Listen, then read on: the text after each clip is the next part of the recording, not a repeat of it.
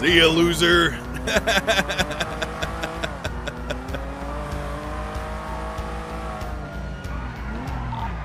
They're saying on the radio that they want to kill us. Want to kill us?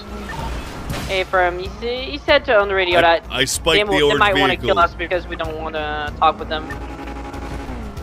We're merging back on their way, going west, under the bridge.